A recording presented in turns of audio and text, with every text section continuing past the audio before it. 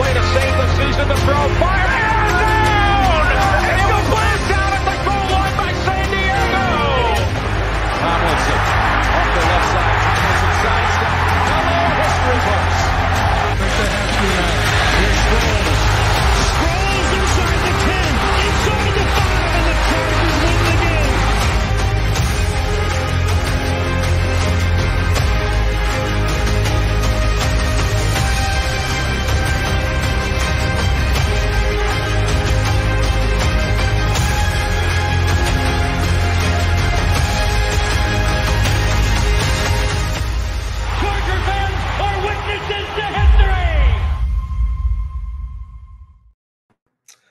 Hi, everybody. Welcome to the first regular season episode of the 2024 season of the walkthrough. Uh, you're here with me, Jamie Hoyle, as always. And this week, I have a special guest. We have Dennis Ackerman from the Bleav in Raiders podcast. Uh, Dennis was with us once towards the end of last season, right before that Chargers Raiders game we'd all like to forget, or at least on the Chargers side anyway. and uh, a lot of a lot has happened for both teams since then, both in the front office, on the field a lot of decisions being made. So, um, first of all, Dennis, thanks for joining me. I really appreciate you coming on. Oh, thanks for having me. I appreciate it. Hey, I got a question for you. I saw in, in your montage so many great Chargers over the year. Do you have a favorite uh, San Diego slash LA Charger player? I would say it comes down to two guys for me. Uh, comes down to Rivers and Seau. Um, oh, okay. Seau was the Charger when I was growing up, so he's the one that really got me into the game. And then Rivers was the quarterback for more than half of my fandom, I think. So uh, those are the two guys for me. Where's LT rank in there? Uh, I'd say LT is a close third. Okay. Yeah, they're. I mean, they're all great. You can't go wrong with either one of them. No. Um, but it's more based on what I grew up on than anything else for me. Um, so what I wanted to start with was, and you kind of you kind of teed me up for this when we were talking before we went on the air, talking about um, you know, that was it 60, 60, 62 to 21, 63, 21. One of those two, right? The Raiders Yeah. were in the low 60s. I know that, which Yes. I've never seen before. Yes. Yeah, it was 63 21 uh, in week 15 of last season. And we came on and we talked about, you know, where's Harbaugh going to land? Is he going to go to the Chargers? Is he going to go to the Raiders? What do we expect from these teams with so little to play for at the end of the season? And I think what kind of stood out to me was, you know, you mentioned it, the Chargers quit in that game. I mean, I think you could point up and down the roster, and with the exception of maybe four or five guys at the absolute most, everybody quit on that game in the first quarter.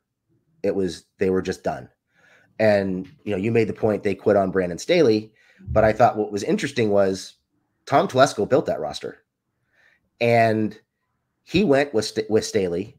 They were both fired that next week, and I'm just curious what the what the uh, response was from Raiders fans to be bringing in a general manager who they ridiculed for 11 years and said that he was overrated and the Chargers were overrated and he built a bad roster to watch the team quit on him and on Staley. What was the what was the response to bringing him in? What how did they how did they ta- how did they take that? Well, I think they, they were trying to be open minded about it. And I think he did pretty good in terms of free agency when they signed Christian Wilkins uh, from Miami. They inked him to a big deal. And it was like, wow, all of a sudden, this is one of the bigger free agent prizes on the market. And the Raiders grabbed him. And I think it was high reviews for Tom Telesco at that point. I think there was a little bit of a wow when they took Brock Bowers. Uh, with their first pick, I think it was the 13th overall pick. I thought everybody thought they were either going to go uh, perhaps a cornerback or maybe somebody along the defensive line, perhaps an offensive lineman, but they decided to go uh, with Brock Bowers, the tight end out of Georgia, because they could not trade up. They tried to trade up. Well, I know Telesco doesn't like to trade up. He's got a reputation for not doing that, but they tried to trade up and get a quarterback. They were unsuccessful, so they went out. They signed Gardner Minshew, uh, and that was kind of the I don't know what I'm going to say consolation prize, but that was pretty much all they uh, could do at that point was a Gardner Minshew. So they went with Gardner Minshew and Aidan O'Connell. I think the jury's kind of still out. I think he's building a roster. I think he's got some good pieces in place. Uh, some areas they lack some depth. So I think, you know what, right now, Telesco does come. I know it comes from the rival, but he does have a lot of experience. And let's face it, the Chargers have won more recently than the Raiders have. So the only really way they can go is up. So I think people are keeping an open mind. I know they were a little upset after preseason watching Gar- uh, Gardner Minshew and Aidan O'Connell uh, compete for the starting quarterback job. They're like, why didn't we trade up? Why didn't we trade up? Well, you know what, Raider Nation, it's not that easy just to trade up. You can't just do it like snap your fingers and somebody else is going to, you know, give you nothing to trade up eight, nine spots, whatever it might be. So book is still open on him. I think he's done some good things, but obviously it's a result oriented league. So let's see how the Raiders do here in 2024.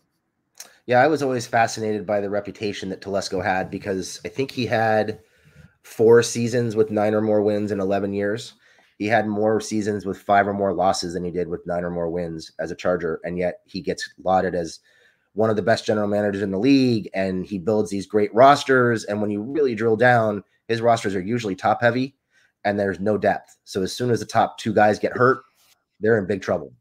And I guess you can say that about a lot of teams, but it's really true of it's been true of the Chargers during Telesco's uh, time as the general manager.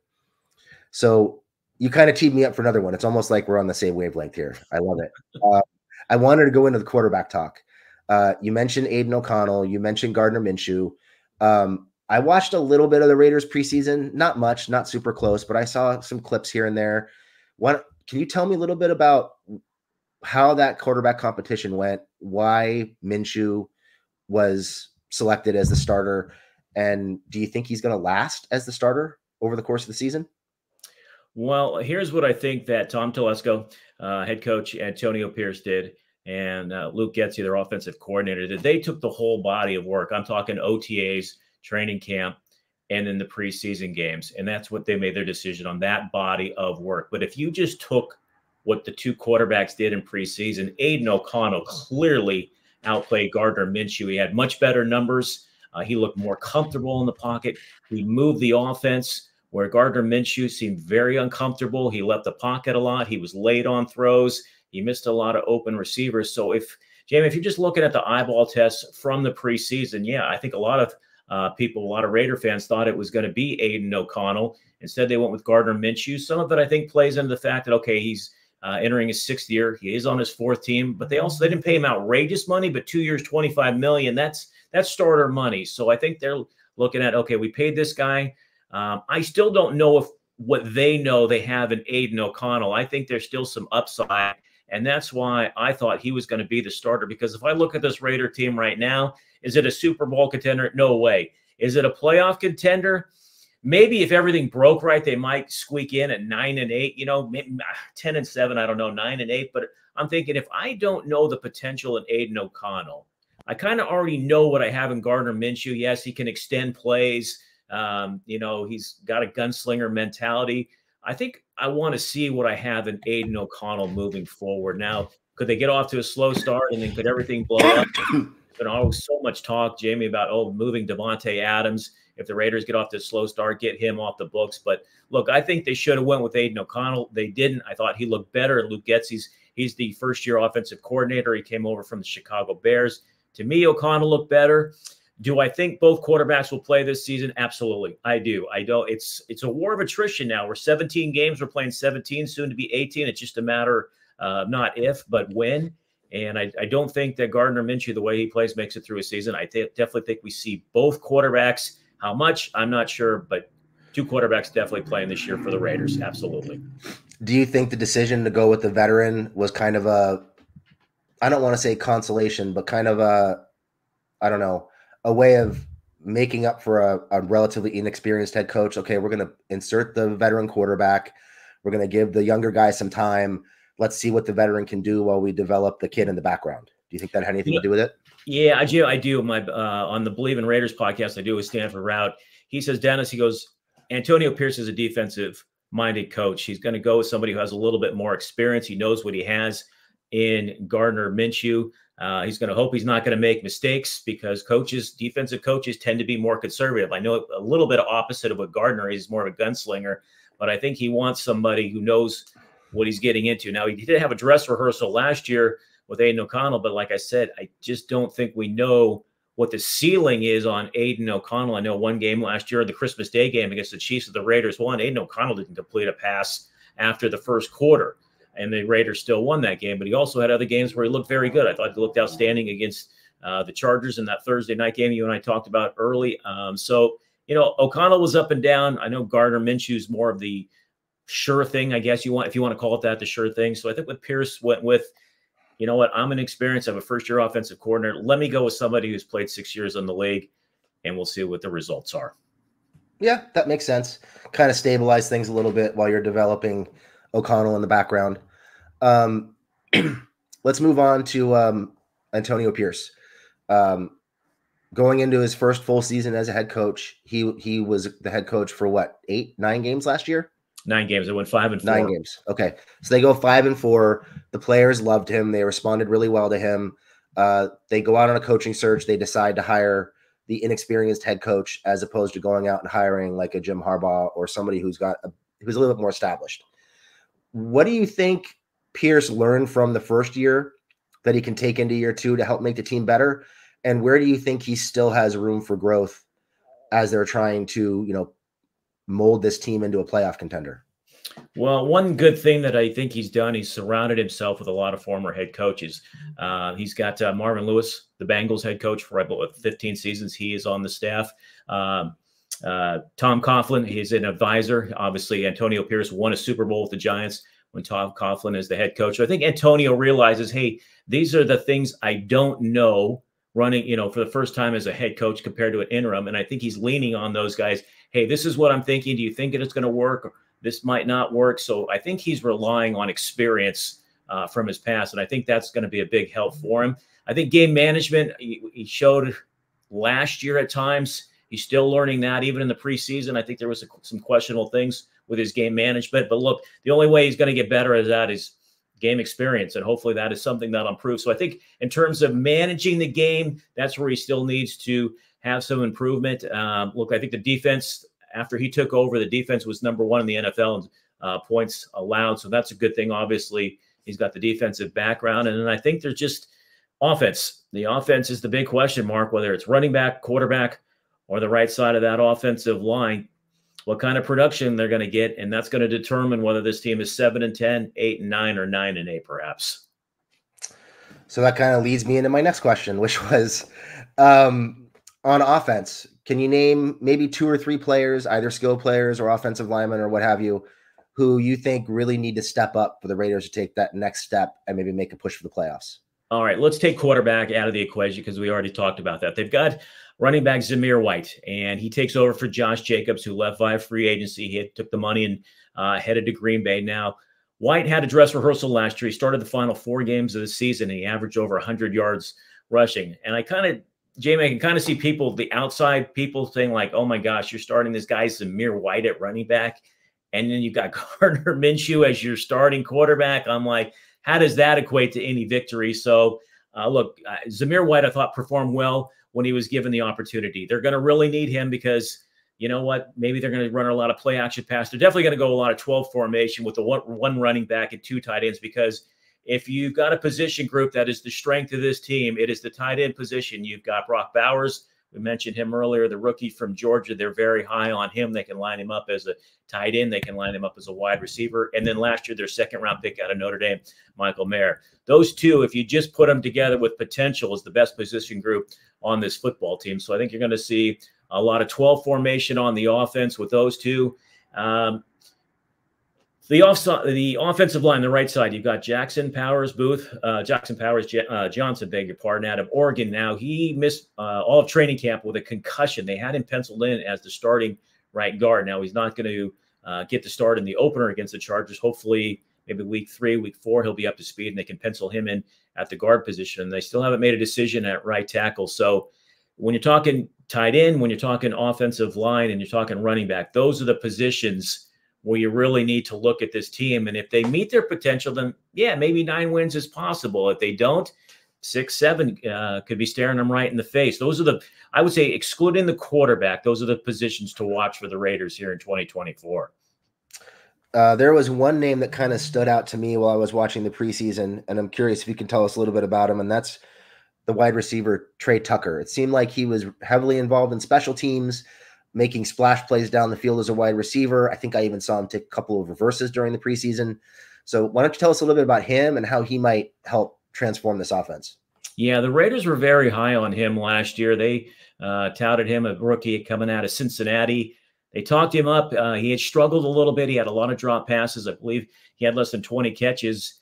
Uh, Jamie, I think you can make the case he was probably their best player in preseason. He had a lot of big grabs. They're counting on him to be the number three receiver behind Davante Adams and Jakobi Meyers. They need him to step up, and he can be that deep ball threat. Meyers and Adams are better at work in the middle of the field and the outside, but Tucker can be that big threat for him. So I agree with you. I think he's someone that they're counting on to have a big season. They need a big season out of him as that number three wide receiver. He seems to uh, have gotten over the drops or whatever you want to say, but he looked very good to me as well in preseason. We talked about him on the, our podcast as well. That you know they talked him up last year. They've been talking him up in training camp. Now it's time to do it on the field, and let's see how he can produce. Um, hoping for big things from him, number eleven, uh, here in this uh, upcoming season. So, just kind of looking over the the uh, the Raiders roster, it, obviously they're they're kind of stacked along the defensive line. You've got Crosby there. Um, Koonce had a big year last year. Seems like he's on the upswing. Um, what about Tyree Wilson, the first round pick from last year? How's he doing? Did was he on the verge of being cut this year? And what are the expectations for him? Well, they said he's taking baby steps in training camp, which you know what, you were a first round pick, a top 10 pick a year ago. You don't want to hear about somebody who was taking baby steps. He missed most of training camp last year, and they had him on the edge. They had him playing inside. He, you know, he had a little bit of production towards the end of the season, but like I said, I mean, this guy's a first, you know, top 10 pick and he's struggling. I mean, he made the roster. There's debate whether he's going to play on the end, in the middle. He'll perhaps play both. He's not going to start on the end ahead of uh, Maxx Crosby or uh, Malcolm Koonce. He'll be a backup there, and he'll be a backup uh, inside as well. But if you take somebody that high, Jamie, you don't want him to be a backup. He's supposed to be a starter and making an impact. But it's just another one of those cases. It seems like that. You know what? The Raiders uh, once again have whiffed on their first round pick. Now he's only in his second year, so I'll give him the benefit of the doubt, but uh, did not get a lot of production out of him in 2023 and hoping for not baby steps, but some big incremental steps here so he can be an impact player on that defense, whether it's on the edge or whether it's inside for the Silver and Blacks defense. Yeah, that sounds like a familiar story. We've had a lot of those same conversations about Quentin Johnston uh, this this offseason.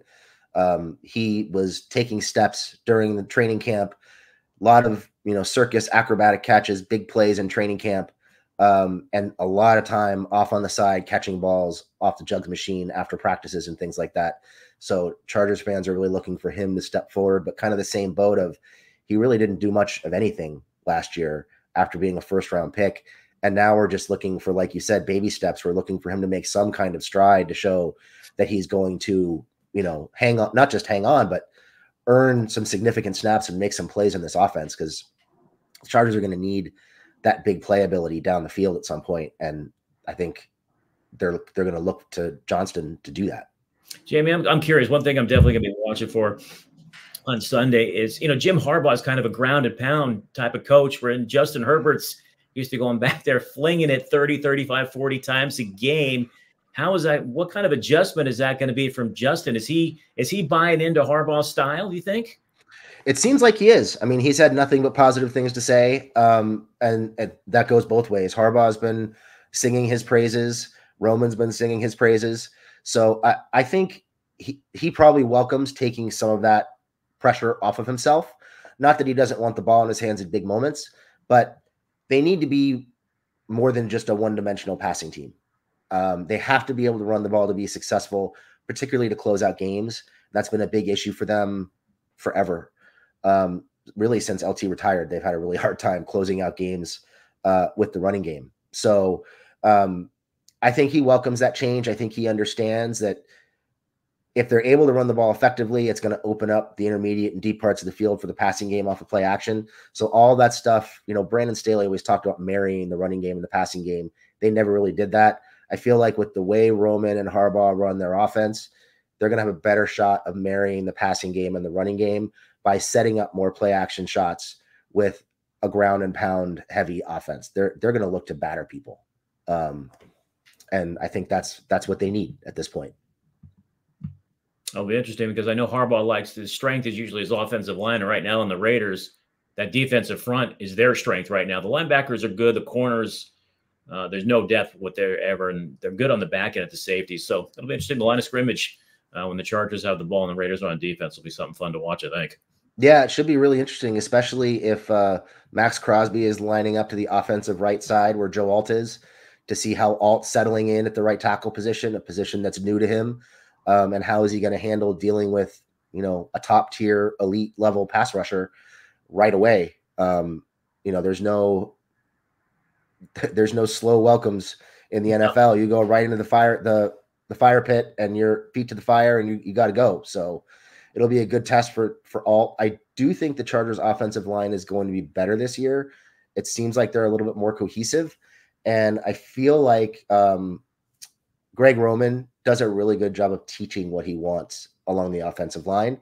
They just he's always had success with offensive lines everywhere he's been, and I think that'll continue. Um, so we'll see how that goes. But I, I do think the offensive line is going to be better. Hopefully, it's more organized and more prepared for some of those stunts and twists and overload blitzes that gave them so many issues last year.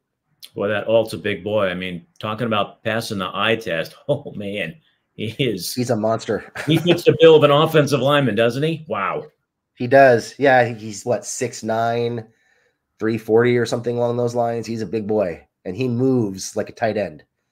He can really move. So, um, one of the things that I think we'll see a lot of this year is the Chargers running behind the left side with Trey Pipkins and all pulling from the right side to clear the way. Uh, they had a lot of success with that in the preseason, and I think that'll continue. I think that'll be kind of their identity in the running game, at least early on.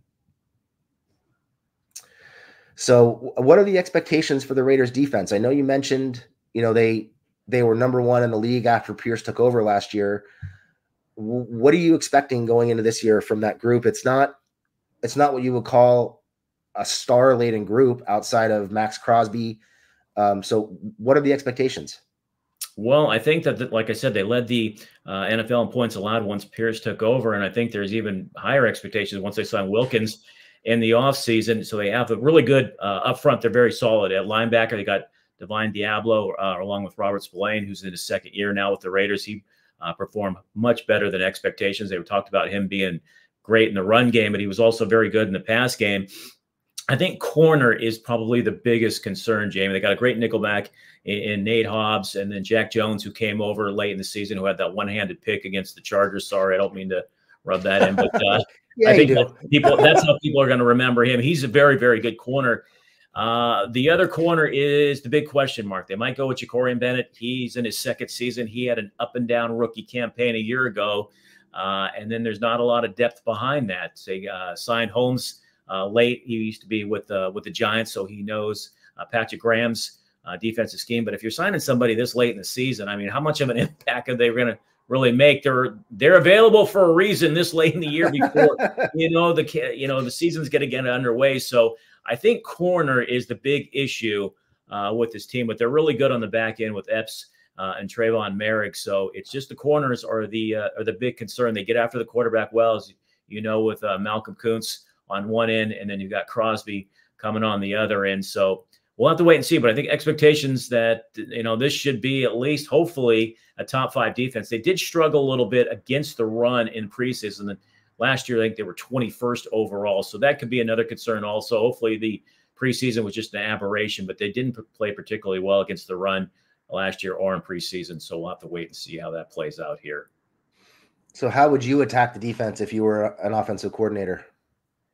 You know what? I would probably try to do, uh, and this kind of plays into the Chargers. I would probably try to pound it uh, on the ground, see what I can get, maybe on first or second down, then set that up, and then I would try to hit him a play action pass. Uh, that's the way I would do it because, like I said, they finished 21st against the run.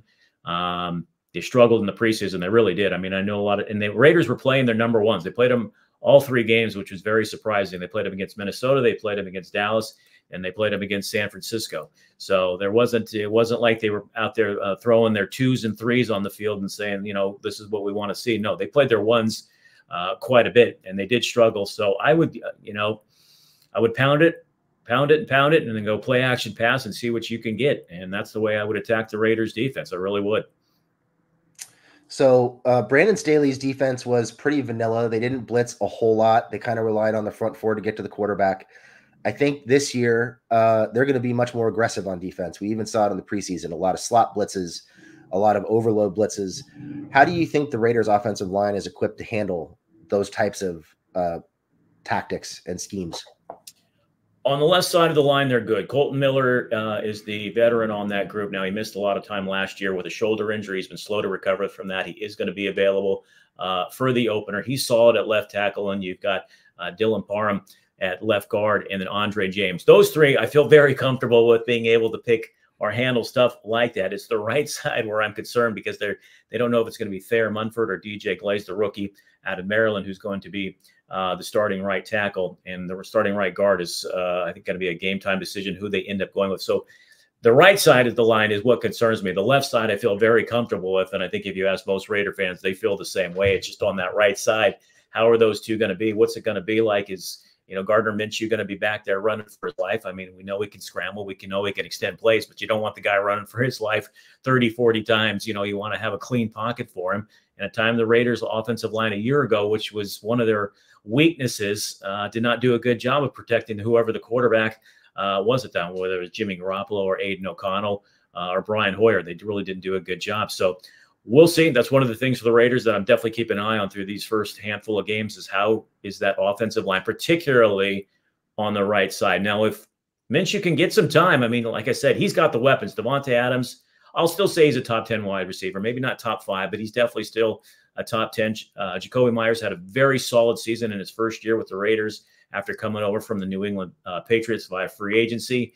And like I said, with Brock Bowers and Michael Mayer, in terms of potential, those two off the charts. And Zamir White, I still, you know, what he did in the final four games, if that can carry over, yeah, the pieces are in place. They might not be household names, Jamie, that everybody's going to know, like, you know, like Justin Herbert or Patrick Mahomes, Travis Kelce, you know, those guys in the division, the Chiefs are the Chiefs. So that's another story. But, you know, they've got some weapons. If everybody, if everything goes right, they've got pieces in place, but we'll see. You don't win on potential, man. you got to execute. You got to get it done on the field, right? You do. You have any questions for me? Yeah. What? Let me ask you this. I mean, they won five games a year ago. The Chargers. They finished five and twelve. Obviously, they cleaned house. They did everything they possibly could uh, to get Harbaugh. They got their man. He comes in. He's a very rah rah. Let's go.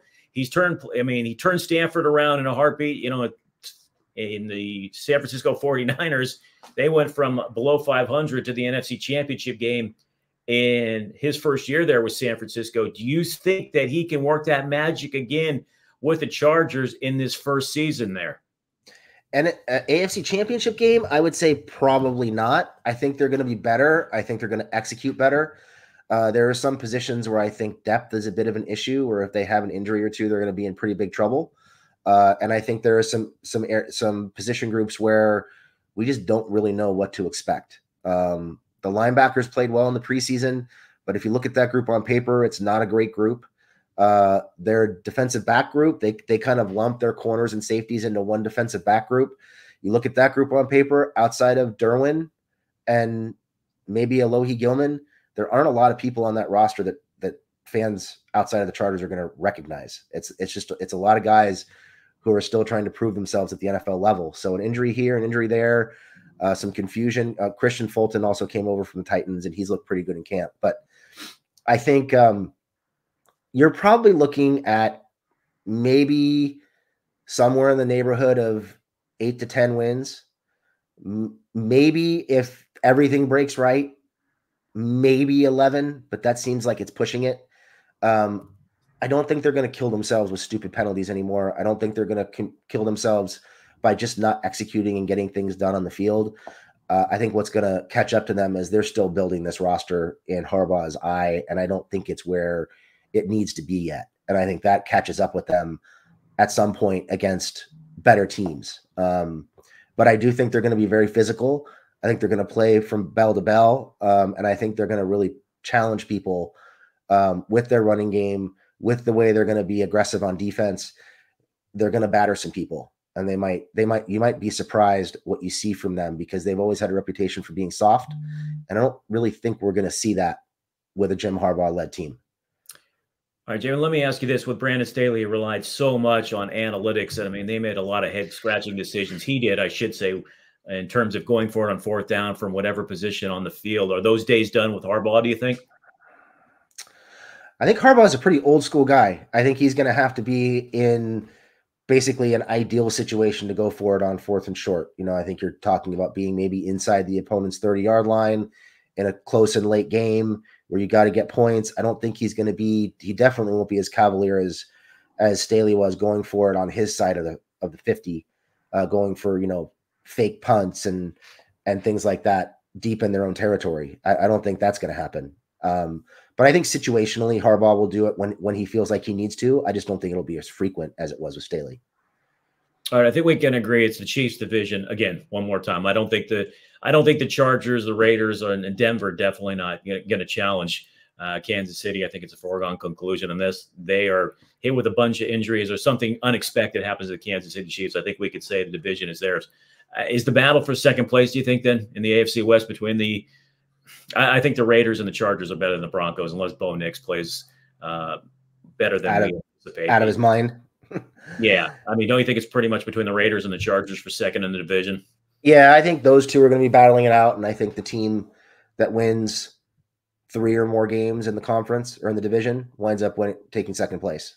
That's my guess. The Chargers have had a really hard time finishing and winning games within the division uh, in recent years. Games it seems like they had put away, they find a way to lose them constantly. So um, I think success within the division is going to be paramount for both these teams, and I definitely do think you're you're looking at those two teams battling it out for second place in the division. I just I don't think Denver's going to be very good.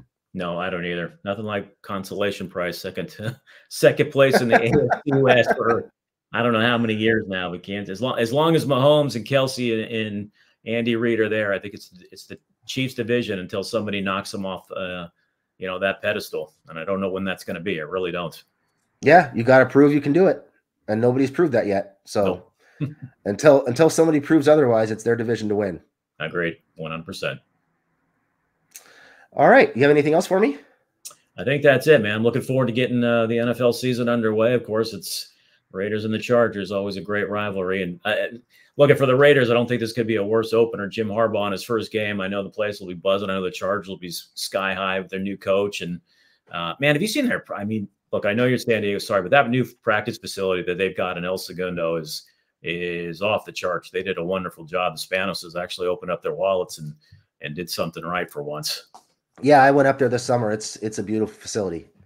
It's it's really nice. My only complaint was when I was up there for practice they practiced as far away from the bleachers as they possibly could. So it was really hard to see what was going on.